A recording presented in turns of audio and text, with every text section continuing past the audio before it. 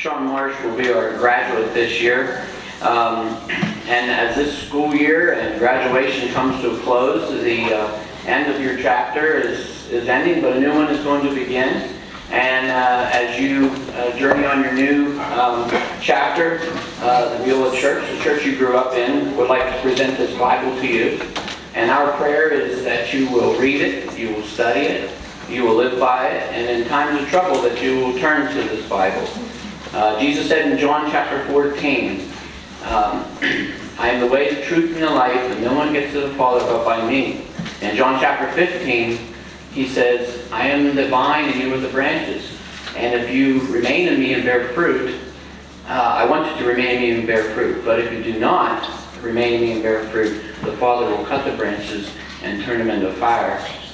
So our prayer is that you will remain in Jesus and your next journey. Um, would you like to uh, share with the congregation what your plans are? I'm planning to go to Ohio University for aviation. Great. Well, congratulations on your graduation.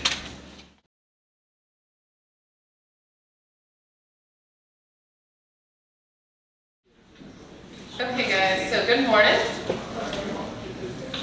All right, so I decided to kind of teach you a little bit about something that maybe you join us in saying every week. When Pastor Brown's finishing up his before he starts his sermon, we always end it with the prayer that's written in the Bible, the prayer that Jesus taught us to pray. Do you know the name of that prayer? The what? Almost. The, the Lord's Prayer, okay, which it is a very holy prayer, okay, but it's titled the Lord's Prayer, okay? So, I have it written out here. I know it by heart. I say it every week, a couple times when I come to church. But um, as I break it down, I don't want to screw it up. It's up here. Um, so, it starts out with, Our Father, who art in heaven. So, I have a little picture here. It's Jesus, right? Jesus with the child. They're holding hands. Now, some of you kids are getting a little bit big, you probably don't hold your daddy's hand anymore. But some of you do, okay? All right? Um, God wants us to think of Him and Jesus as the same as our earthly Father. It's just our Father in heaven. What happened? Yes, you still have to hold hands while you're grounded, okay? All right, so uh, we, God wants us to have a relationship with Him like we would with our own, with our dad, you know, that's here on earth, all right? He's just not physically here with us. He lives in heaven, right? But we can talk to him and have conversations with him just like we do our earthly dad, okay? The next line is, hallowed be thy name. So what name do I have here? Jesus. Whether it's Jesus, whether it's God, whichever, whether we're talking about God or his son, we want to treat their, both of their names with great respect, respect, right? Okay, so that's what, that's what we're saying here, okay? We want, we consider your name very important, and we're not going to use it the wrong way, okay? Thy kingdom come. What are we asking when we say that in prayer? Do you know, Kyla? That you will come to heaven one day? Well, we all pray that we get the chance to go to heaven one day. But in this prayer, when we say, Thy kingdom come, we're asking Jesus to come back to earth to take us with him up to heaven if we haven't passed away yet. Okay? So we're waiting for that day that his kingdom will come and take all of us people who have asked Jesus into our hearts, okay? Then he'll take us up to heaven at that point in time. What do you?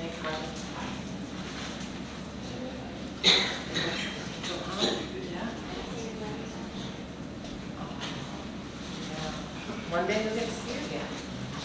All right. Then it says, Thy will be done. So what's happening here?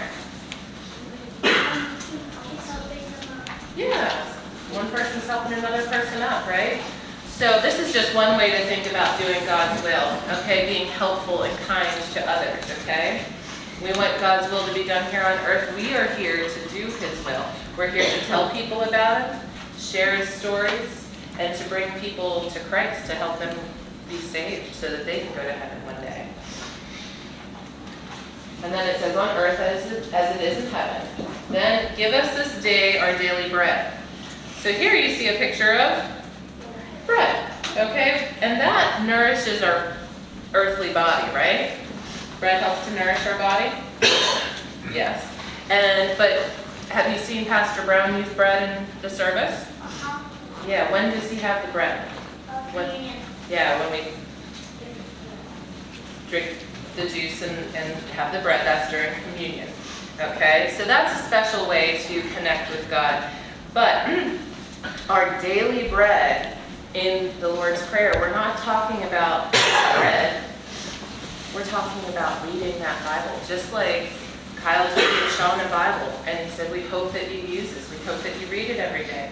Our daily bread is to be God's Word, okay? We're supposed to read it, even if it's just one little scripture. That's better than nothing at all. It helps keep us connected. So give us this day our daily bread is helping us to read God's Word. That's what. Forgive us our debts. What does that mean? This doesn't, oh, this picture doesn't necessarily tell you exactly what that means, but forgive us our debts. What does it mean to forgive our debts? How about our sins? Yeah, you were, you were saying it, weren't you, Jesse? Yeah, good, our sins. So forgive us our sins.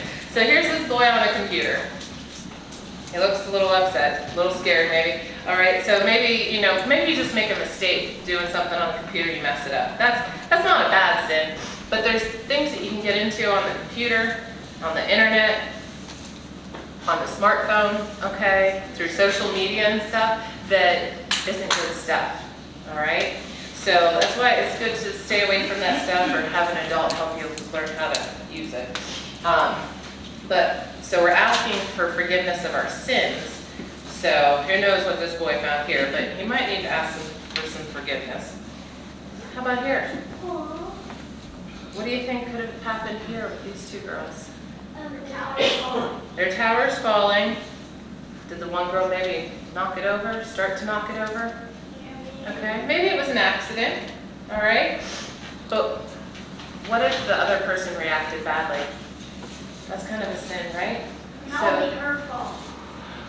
Well, her reaction would be her fault? Yes, it would be worse than accidentally knocking down the right, You could just exactly. So maybe both of them have something to ask for forgiveness for. Sorry, you know, I I knocked over the tower, but that maybe if somebody act, reacts badly, that's, that's even worse. So we need to remember to ask for forgiveness when things go wrong with friends. That's what we're trying to get at here, okay? Um, who knows the story about Pinocchio? Oh, he was. He lies and his what grows? Um, Nose. Are we supposed to lie? No. So there's another type of debt or sin, right? So we need to ask God forgiveness for our debts or our sins, and we need to forgive those who might have sinned against us too, right? Um, if you lie, and if you tell the truth?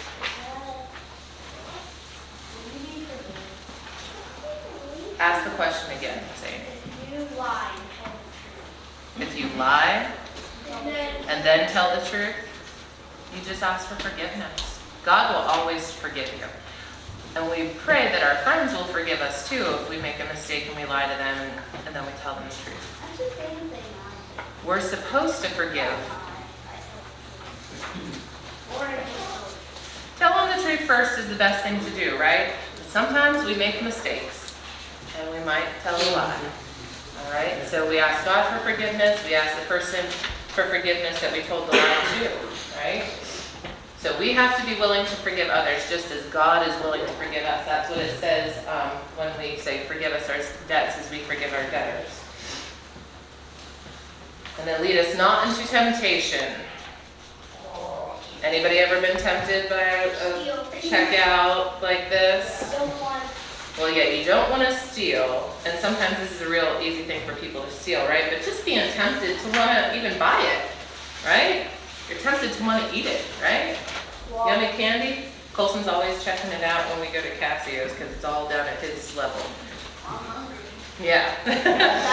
So- that's why I get tempted. I'm hungry. Yeah, well, that's true. You get hungry, so you get tempted. There's other things that we get tempted into, but this was just an easy picture to find. So we're asking God to, to keep us away from temptation, to keep us away from people at school that might tempt us to do things that we know are wrong, too. Okay? Um, so lead us not into temptation, but deliver us from evil. For thine is the kingdom and the power and the glory forever.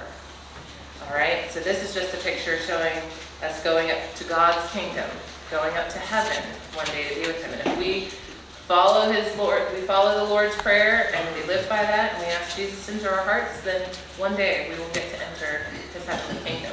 Okay? So I hope that helps you understand the Lord's prayer just a little bit more because the words are a little big and can be a little confusing. All right. Mm. Let's stand up for a word of prayer.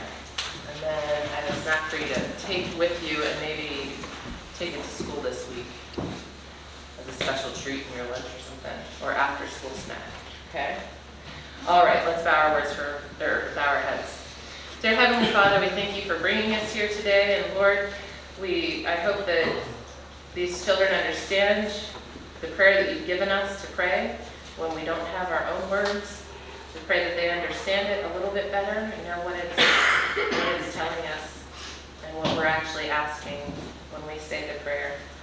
And we pray that you be with them this week as they go to school. Some will finish up school as they start their summer vacations this week and next. We pray that you're with them and lead them to good decisions and good choices and keep them safe and help them to have a happy, fun summer. In Jesus' name we pray. Amen.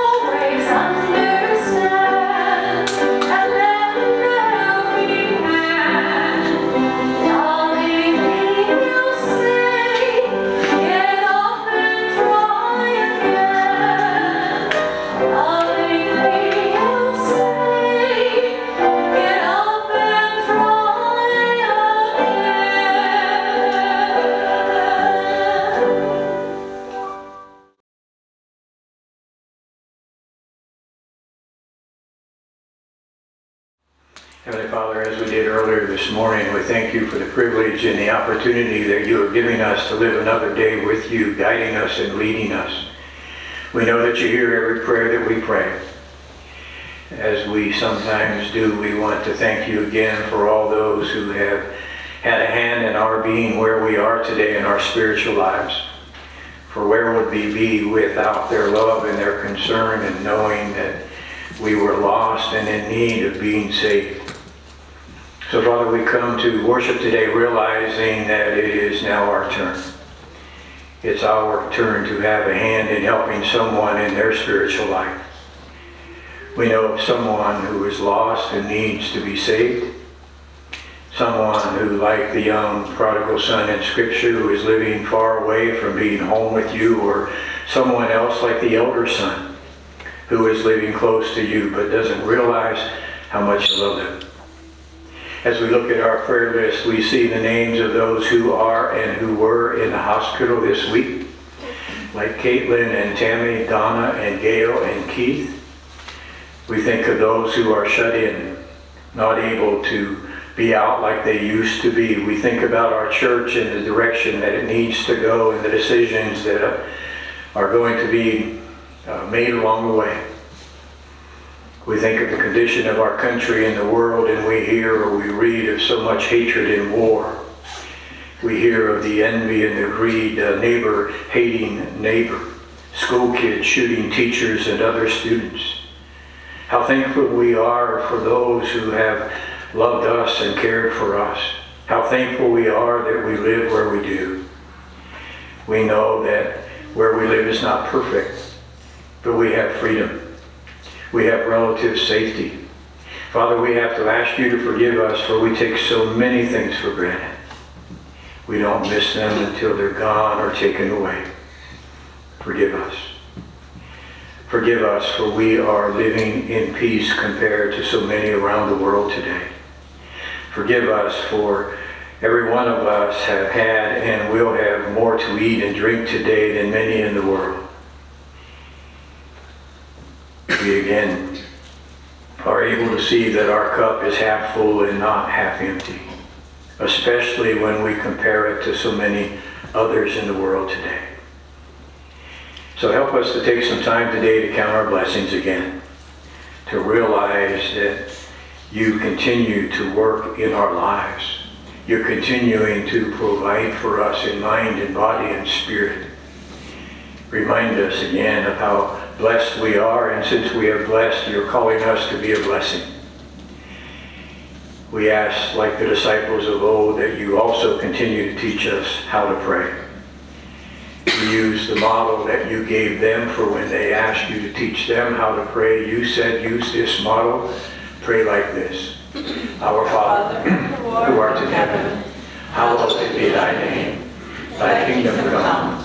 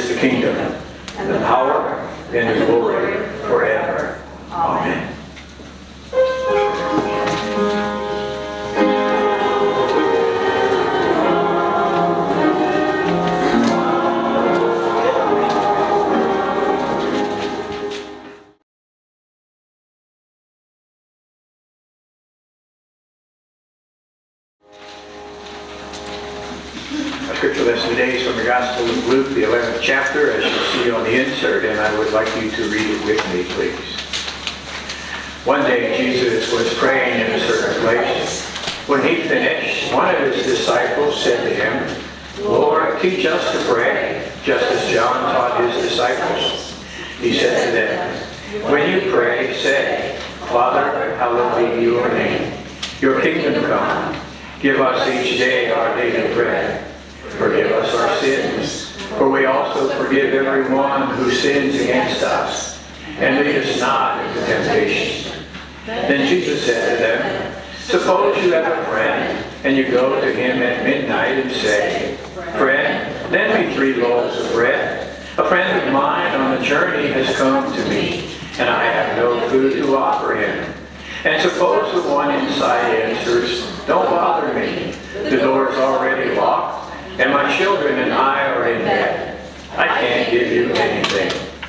I tell you, even though he will not get up and give you the bread because of friendship, yet because of your shameless audacity, he will surely get up and give you as much as you need. So I say to you, ask and it will be given to you. Seek and you will find. Knock and the door will be open to you. For everyone who asks receives, the one who seeks finds, and to the one who knocks the door will be opened. Which of you fathers, if your son asks for a fish, will give him a snake instead? Or if he asks for an egg, will give him a scorpion? If you then, though you are evil, know how to give good gifts to your children, how much more your Father in heaven will give the Holy Spirit to those who ask him. This is the word of God for the people of God. Thanks be to God, and may it become alive in all of us today. This morning I want us to see the power of prayer. The story is told of a nationally known pastor who was on a panel uh, during a question and answer session. And he had just responded to a question when another man stood up, ready to ask his question. The pastor on the panel thought, he looks really familiar. And then he recognized him as one of his old drinking buddies. His friend had never seen him as a Christian, and certainly not as a pastor. He said in their drinking days, they both did some things that they were not very proud of. Well, the man recognized him and came straight to the point. Can you tell us what made you become a Christian? A pastor? I knew you when you were a younger man.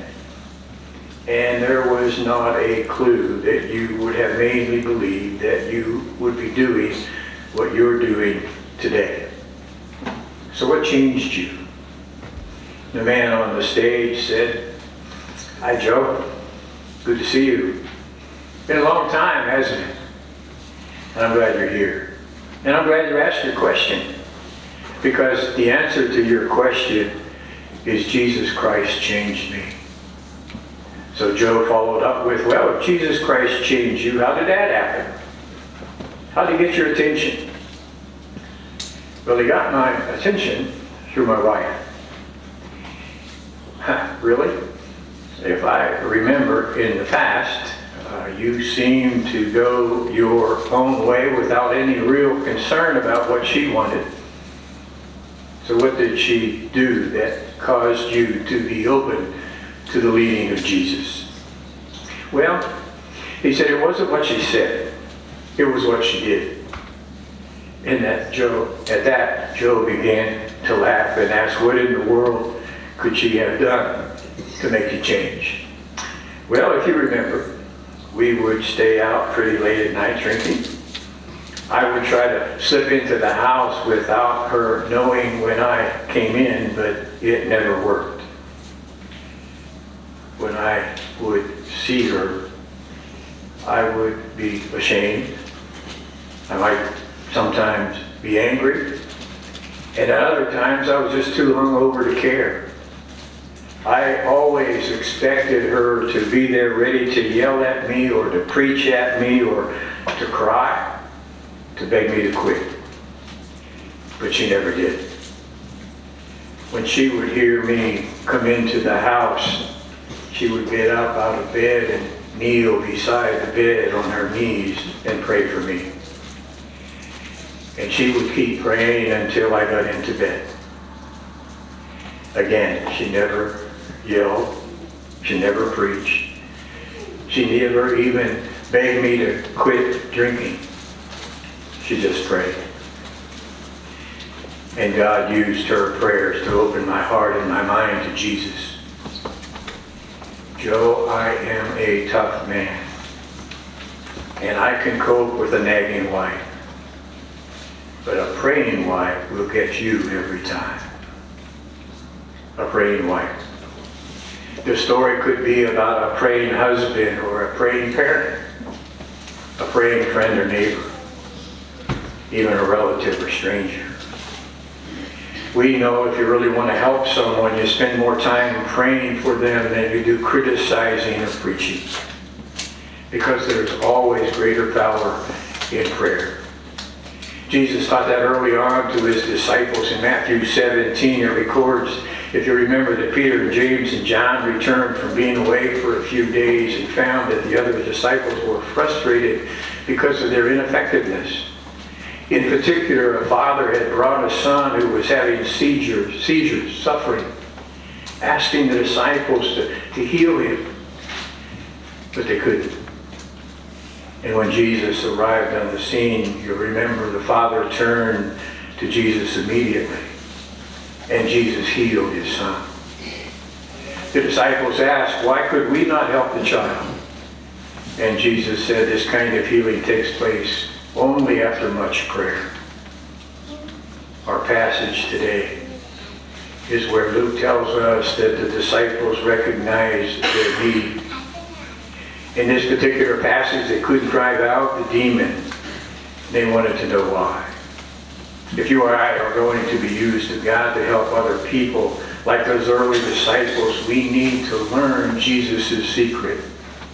And the secret is prayer. So the disciples asked, Lord, teach us to pray. And as we know, Jesus gave the model that we use every Sunday.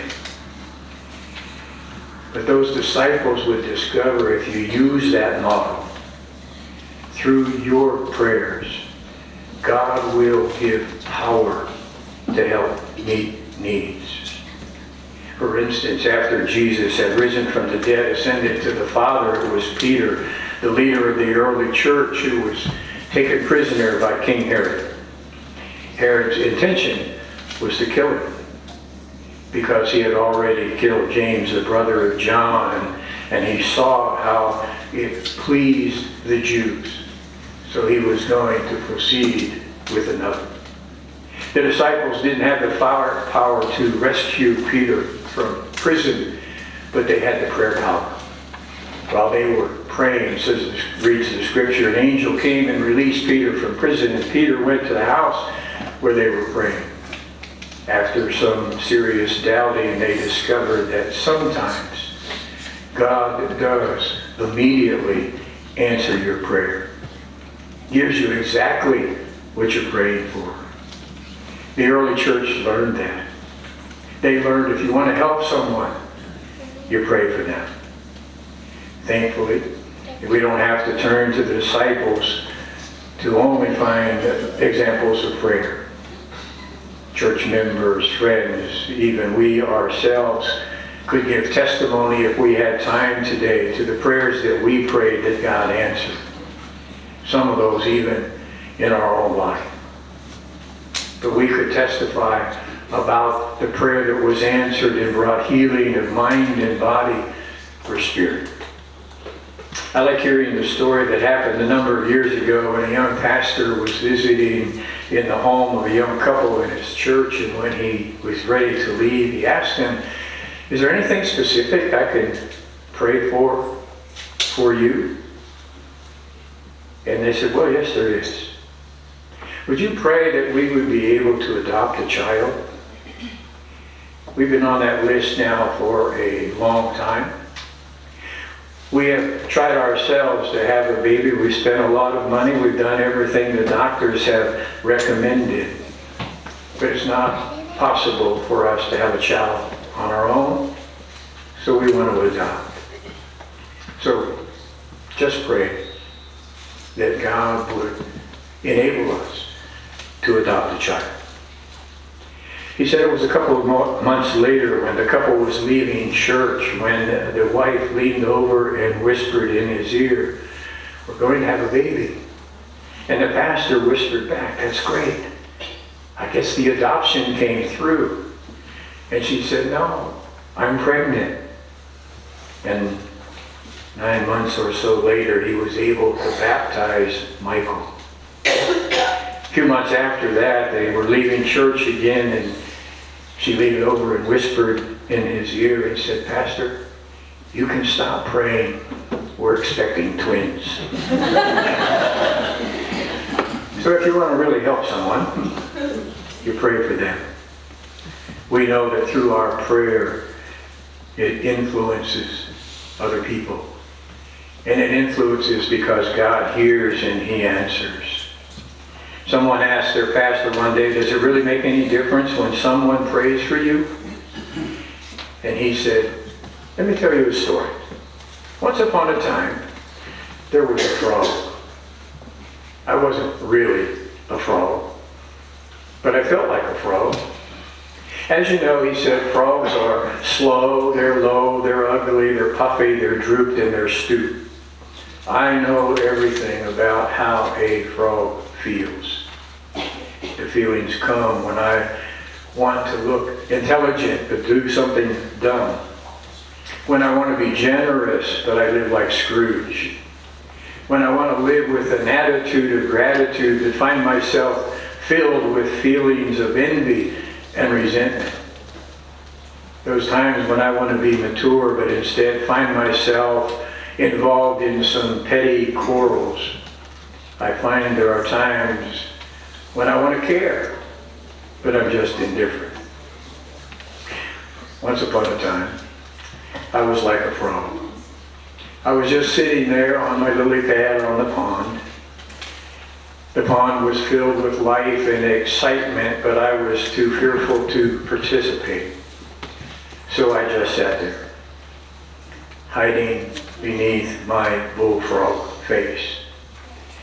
Then one day, a princess came by. Everyone thought that I was just a frog, but she could see the difference. She looked like an ordinary princess, but not really. She was someone special, and she knew it. Because she was a child of the king. And because she was a princess, we knew that she could, with one kiss, change people from being slow, low, ugly, puffy, drooped, and stooped into being a prince. She came over to me. She looked down at this frog. I just knew that she could never bring herself to kiss someone so low, ugly, puffy, stooped, and drooped. But she did. And instantly I felt like a handsome prince. So now I go around kissing people. Well, I don't really kiss them, but I help them to see what they are. It's so much fun to, to watch the change in their lives when they realize they are not slow and ugly and puffy and drooped and stooped. The change is almost instant when they realize they're not a frog. They are a child of the King. So if you really want to help someone, you pray for them. And you pray for them because prayer is powerful. Because when we pray, God listens and he answers. He helps us to show the love of Christ to the person to whom we're praying. Never neglect praying for someone. God will not only answer our prayer for that person, He'll bless us as well. So let's not forget when we pray, God sometimes answers instantly. Sometimes it takes some time. And sometimes he'll work through us to bring the answer. So don't forget to pray for the person that God has laid upon your heart. Let's pray. Father, we're grateful that you give us this opportunity because we know there is power in prayer. And we know that you have given it to us to not only use for ourselves, but to use for those others that we know of who are in need as well. So help us to continue to be a church and a people of prayer as we pray in your matchless name.